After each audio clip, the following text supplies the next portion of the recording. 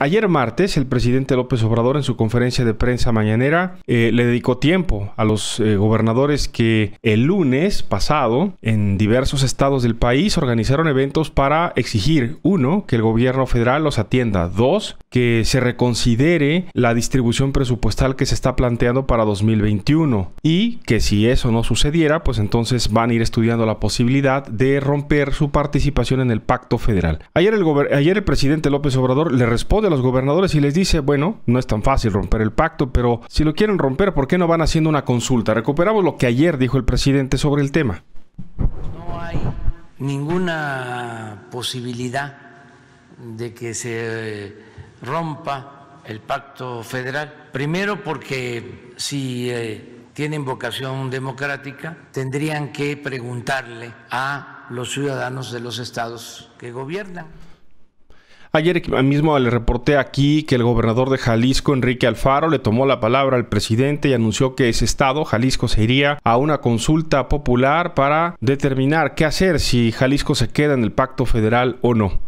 Pero ayer martes por la tarde, más por la tarde, varios gobernadores usaron sus redes sociales para responder también y tomarle la palabra al presidente López Obrador. Cada uno fue publicando en sus eh, redes sociales personales eh, diversos planteamientos, pero la mayoría de ellos plantearon una pregunta. Eh, lo hicieron Francisco Cabeza de Vaca de Tamaulipas, Jaime Rodríguez de Nuevo León, Silvano Aureoles de Michoacán, Martín Orozco de Aguascalientes y Diego Sinue de Guanajuato.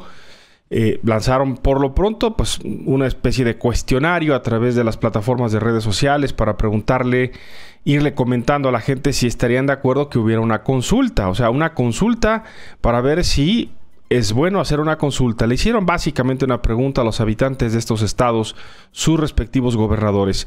¿Están de acuerdo en que el gobierno federal regrese a la gente los recursos para salud, cultura, deporte, ciencia, seguridad, derechos humanos, entre otros? Esa fue la pregunta que algunos gobernadores lanzaron a través de sus redes sociales. Bueno, eso ayer fue por la tarde. Por la noche, gobernadores de Baja California, Chiapas, Morelos, Puebla, Tabasco, Veracruz y la jefa de gobierno de la Ciudad de México emitieron un comunicado, un posicionamiento conjunto para respaldar al presidente López Obrador, es decir, reaccionó el Frente Pro López Obrador. Los gobernadores resaltaron su desconcierto, dijeron, por el llamado de algunos miembros de la Alianza Federalista a romper el acuerdo, aunque también enfatizaron que se trata de unos pocos. Para la gran mayoría de las y los mexicanos, dice el comunicado conjunto de los gobernadores 4T, esta nueva etapa en la vida pública de México es una transformación pacífica que tiene como mandato erradicar el régimen de corrupción y privilegios que se fue alimentando al amparo de poder. Además, sostienen que el cambio busca establecer la clara división entre el poder económico y el poder político y subrayan esta parte que forma parte del argumentario de los gobernadores aliancistas que habla de la posibilidad de romper el pacto federal. Dicen los gobernadores 4T. El crecimiento económico del norte no puede significar la pauperización del sureste.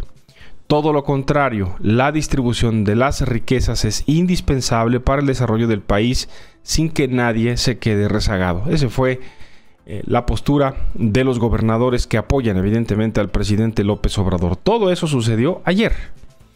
Pero es evidentemente, no es evidentemente lo único que ha sucedido y lo que se ha dicho sobre el tema. Esta mañana el presidente López Obrador le ha dedicado un buen tiempo de su conferencia de prensa mañanera, de hecho eh, en una parte intermedia y al cierre de su conferencia de prensa mañanera el presidente no ha querido terminar su intervención matutina sin volver a digamos, dejar claro sus posturas sobre lo que dice el presidente o dijo el presidente días pasados, era una postura electoral, pero la de esta mañana ya nos deja ver mm, con más claridad que no se trata solamente de una postura electoral, que no se descarta, sino ya de una abierta confrontación por lo de siempre, por las mismas diferencias que siempre han tenido los gobernadores con la federación y la federación con los gobernadores, el presupuesto, el dinero.